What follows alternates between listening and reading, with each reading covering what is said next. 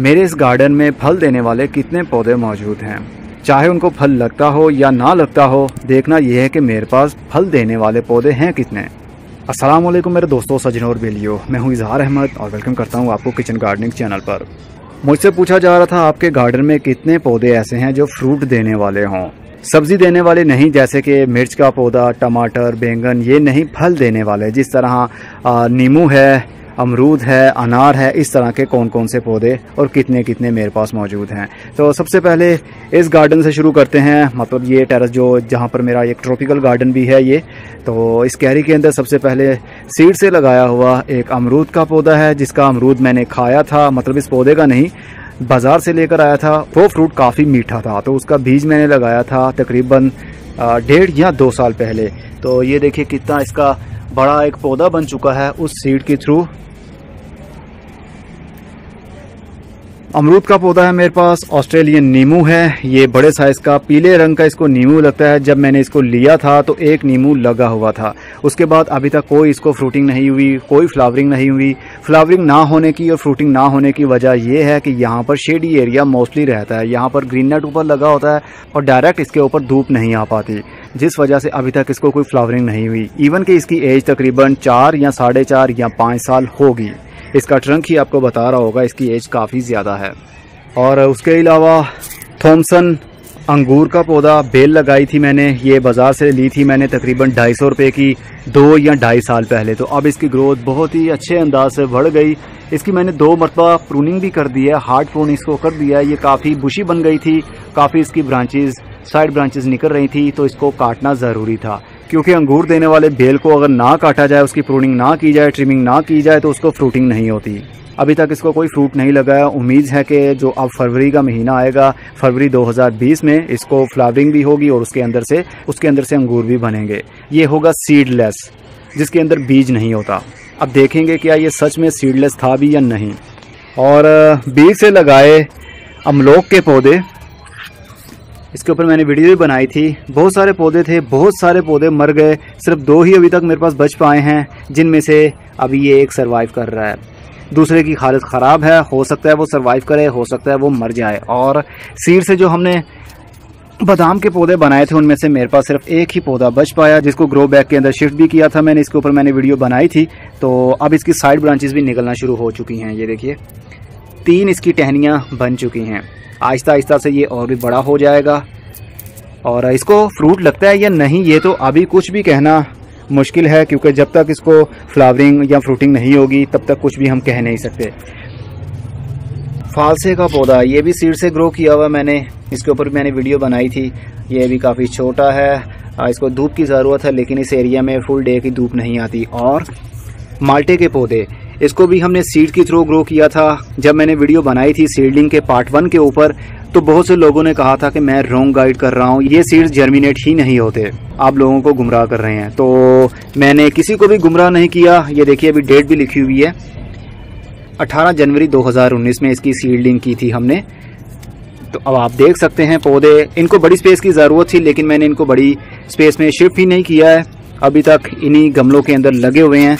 और इनकी ग्रोथ हो रही है। ये देखिए, छुपे हुए हैं गमले, लेकिन ग्रोथ स्टिल इनकी चल रही है। तो कुछ भी नामुमकिन नहीं है। आपने कोशिश करनी है। उसका अच्छा रिज़ल्ट मिले या ना मिले, आपका काम है कोशिश करते रहना। और ये देखिए, अंजीर का एक पौधा है हमारे पास। ये है तुर्किश अंजीर, जिसको बड़े साइज़ की ब्राउन कलर की अंजीर लगती है, जो कि काफ़ी मीठी भी होती है और साइज़ में भी बड़ा होता है, और साइज़ भी उसका बड़ा होता है। इसको ग्रो बैग के अंदर लगाया हुआ है, इसको भी फुल धूप की ज़रूरत है, लेकिन इसको मैंने इस टेरस के ऊपर रखा हुआ और इसके अलावा कॉफ़ी के बीज। आपको याद होगा कॉफ़ी की सीडलिंग के ऊपर मैंने वीडियो बनाई थी। आई थिंक शायद नहीं बनाई शा, शायद नहीं बनाई थी मैंने। ये हमारा कॉफ़ी का जो बीज था उसको लगाया था मैंने और एक पौधा हमारा ये बन चुका है। अब ये आहिस्ता आहिस्ता से बड़ा हो रहा है। उम्मीद है कि ये मेरे पास रहेगा और एक पौधे से मैं बहुत सारे पौधे बनाने की कोशिश करूँगा। इसको कॉफ़ी के बीज लगते हैं या नहीं वो तो एक अलग बात है लेकिन पौधा तो हमारे पास है। हमारे लिए यही काफ़ी खुशी की बात है। और ऑस्ट्रेलियन नींबू जो अभी आपको दिखाया, इसकी मैंने कटिंग्स भी लगाई थी। ये देखिए, अब ये सरवाइव कर गई हैं, ये पत्ते भी इसके निकल आए हैं कटिंग के, ये काफ़ी बड़े साइज़ की हो रही हैं। तो कटिंग के थ्रू भी हम नींबू के पौधे को लगा सकते हैं। ये रहे वो फालसे के पौधे, जिसको हमने सीड से लगाया था। इनको ट्रांसप्लांटिंग की ज़रूरत है। ये अब काफ़ी बड़े हो रहे हैं, लेकिन फ़िलहाल के लिए इनको मैंने ट्रांसप्लांट नहीं किया है। ये इसी टोकरी के अंदर लगे हुए हैं। अरे ये देखिए, हमारे सामने पड़ा हुआ है, लेकिन हमें नज़र नहीं आ रहा। है ये है जंगल जलेबी के पौधे। इसकी सीडलिंग के ऊपर मैंने वीडियो बनाई थी। ये सीड्स मुझे गिफ्ट आए थे कराची से। हमारे फेसबुक ग्रुप की वो मेंबर हैं मिस लुबना उन्होंने मुझे ये छः बीज सेंड किए थे तो छः बीज ही जर्मिनेशन अपनी शुरू कर गए और एक ही ग्रो बैग के अंदर मैंने छः पौधे शिफ्ट कर दिए। पिछले दिनों मैंने सभी पौधों को इस तरह पकड़ा और ऊपर से कैंची से काट डाला। जहाँ जहाँ से भी काटा वहाँ वहाँ से दो दो शूट्स निकलना शुरू हो चुकी हैं। ये देखिए, दो टहनियाँ निकली हैं और इसको मैंने काटा था, इस वाले को काटा था तो ये देखिए कितने गुच्छे बन गए हैं ऊपर। पाँच से छः ब्रांचेस निकली। तो पौधों को काटते रहने से कभी पौधा ख़राब नहीं होता, बल्कि वो ज़्यादा अच्छी ग्रोथ करता है और ज़्यादा साइड ब्रांचेस निकलती हैं। जंगल जलेबी कहते हैं एक दरख्त बन जाता है, बहुत बड़ा 25 से 30 फुट तक जा सकता है। उसको यहाँ पर गमलों के अंदर उसकी ग्रोथ होगी या नहीं, ये तो मैं नहीं जानता हूँ, लेकिन हमारे पास पौधा तो है। और इमली का पौधा भी देखिए। एक पौधे को मैंने शिफ्ट किया था, इसके ऊपर जब मैंने वीडियो बनाई थी एक ही छोटे से गमले के अंदर तो इसकी ग्रोथ हो रही है, इसको ऊपर से काट देना चाहिए ताकि ये अपनी साइड ब्रांचेस को ज़्यादा अच्छे से निकाल सके। चलिए, यहाँ से इसको काट देते हैं। ये दो ब्रांचेस इसकी निकल रही थी तो दोनों को मैंने काट दिया। अब इसकी साइड ब्रांचेस और भी निकलेंगी। दो की बजाय अब चार या पाँच भी निकल सकती हैं। इसलिए कभी भी पौधों को काटने से डरना नहीं आपने। और जो दूसरे थे, वो ट्रे के अंदर ही लगे रहे। मैंने उनको शिफ्ट नहीं किया था। ये देखिए, इमली के पौधों का जंगल। अभी अभी मैंने पानी दिया, बहुत ज़्यादा गर्मी है। पाँच बज गए हैं, लेकिन फिर भी काफ़ी हीट है और पानी मोस्टली पौधों की मिट्टी खुश्क हो चुकी है। चलिए इस टेरेस के ऊपर तो आई थिंक यही पौधे थे। हाँ नहीं, ये देखिए एक, हमने ग्रो बैग के अंदर शिफ्ट किया था, अखरोट का पौधा। तो इसकी ग्रोथ बहुत ही स्लो है, लेकिन नई ग्रोथ इसकी बढ़ रही है, लेकिन बहुत ही स्लो अंदाज से बढ़ रही है। लेकिन कोई बात नहीं।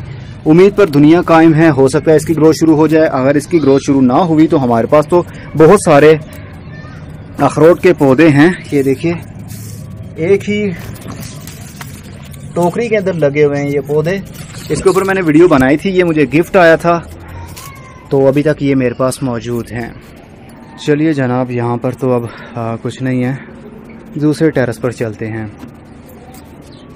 ये मिर्चों के पौधे हैं लेकिन इसको मैं फ्रूट देने वाले पौधों में शुमार नहीं करूँगा। ये हैं सब्ज़ी वाले पौधे। लीजिए जनाब सबसे पहले हमारा एक पौधा आता है जामुन का। ये मेरे भतीजे ने सीड्स लगाए थे, उसको मैंने सिर्फ़ मोटिवेट किया था। ये पिछले साल का है 2018 का। तकरीबन जुलाई 2018 में वो जामुन खा रहे थे और बहुत सारी गुठलियाँ उनसे बच गईं। तो मैंने उनको कहा कि मिट्टी के ऊपर इसको फैला दो तो ये कुछ ही दिनों में उगना शुरू हो जाएँगे। तो उसने खुशी खुशी इस टब के अंदर, जिसमें अब मिर्चें लगी हुई हैं, इसके अंदर बहुत सारे बीज उसने ना फैला दिए। और मैंने कहा, ऊपर से पानी का शावर कर दो। सिर्फ़ उसने पानी का शावर कर दिया। तो सात दिनों के बाद वो सीड्स जर्मिनेशन अपनी शुरू कर गए तो उसको देखने में काफ़ी खुशी हुई। उनमें से एक पौधा मैंने निकाला और छोटे से गमले के अंदर लगाया हुआ था। तो जब ये बड़ा हो गया, थोड़ा सा ऊपर आया तो इसको मैंने यहाँ से प्रून कर दिया, यहाँ से काटा। तो ये साइड ब्रांच इसकी निकली तो ये काफ़ी लंबी हो गई और इसको मैंने अब ग्रो बैग के अंदर शिफ्ट कर दिया हुआ है। हाँ ये देखिए, कितनी खूबसूरत मिर्चें लगी हुई हैं। ओके, ये भी अंजीर का एक पौधा है, ये है वाइट अंजीर। ये छोटे साइज़ की अंजीर होगी, लेकिन कहते हैं काफ़ी मीठी है ये। इसको कब फ्रूटिंग होगी, कौन जानता है? और नींबू का पौधा, तकरीबन ढाई साल या दो साल तो इसको हो ही गए हैं मेरे पास। बहुत सारे पिछले दिनों इसको फूल लगे हुए थे, ये वाइट वाइट आप देख सकते हैं, और बहुत सारे फूलों की पत्तियाँ नीचे भी गिरी हुई थी। ये नीचे, ये फर्श के ऊपर भी देख सकते हैं आप। तो अब इनके अंदर से कुछ ना कुछ तो बन रहा है। ये देखिए, यहाँ से कुछ फ्रूट भी बनेगा और एक, ये देखिए, ये नींबू भी लग रहा है। ये देखिए, ये छोटे छोटे से नींबू लग रहे हैं। ये भी ये भी नींबू लग रहा है। तो बरसात के दिनों में इसको बहुत सारी फ्लावरिंग होती है और उसके बाद में फ्रूटिंग भी होगी इसमें से। ज़रूरी नहीं होता कि सौ फूल लगाए तो सौ ही इसके अंदर से नींबू बनेंगे। अगर 100 फूलों में से बीस नींबू भी बन जाते हैं तो काफ़ी अच्छा रिज़ल्ट माना जाएगा। हम जैसे हाउस होल्ड यूज़र के लिए, क्योंकि हमने इसको, क्योंकि हमने इसको कमर्शियल लेवल के हिसाब से खादे नहीं डाली होती, गमलों के अंदर हमने ये पौधा लगाया हुआ है तो ज़ाहिर है वो अपने हिसाब से ही ग्रोथ करेगा। और ये कोने में लगा हुआ हमारा अनार का पौधा, जो कि वाइट अनार है, एक लाल अनार आता है और एक वाइट वाइट अनार को बदाना भी कहते हैं, वो मीठा होता है काफ़ी. लेकिन अभी तक इसको कोई भी फ्लावरिंग या फ्रूटिंग नहीं हुई है. एक बाल्टी के अंदर ये लगा हुआ पेंट वाली बाल्टी थी ये. अभी पानी की काफ़ी इसको कमी हो गई है. अनार को ज़्यादा पानी पसंद होता है. थोड़ा सा पानी की कमी इसको हो जाए तो इसके पत्ते लटकना शुरू हो जाते हैं. जैसे अभी आपको ये दिख रहे हैं, ये काफ़ी पत्ते झुक गए हैं. अभी पानी दूँगा तो एक घंटे के अंदर अंदर इसके सारे पत्ते दोबारा से और ब्रांचेस भी खड़ी हो जाएँगी. तो इसको कब फ्रूटिंग होगी ये भी मैं नहीं जानता। तो फ़िलहाल हाँ, मेरे हिसाब से यही पौधे थे फ्रूट देने वाले जो मैंने आप लोगों के साथ शेयर कर लिए हैं। इसके अलावा और मेरे पास कोई फ़िलहाल पौधा नहीं है।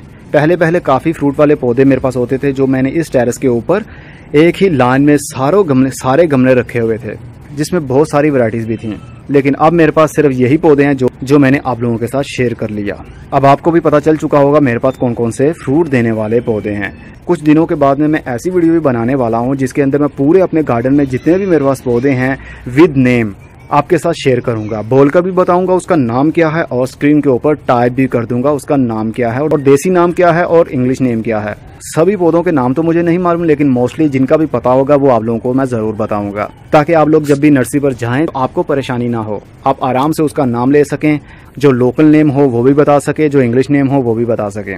लेकिन मोस्टली तो मुझे इंग्लिश नेम ही पता है इनके। लोकल नेम तो आ, मुझे लगता नहीं कि शायद कुछ ही पौधों का पता होगा मुझे लोकल नेम को लेकर तो वो भी आप लोगों के साथ शेयर करता हूँ।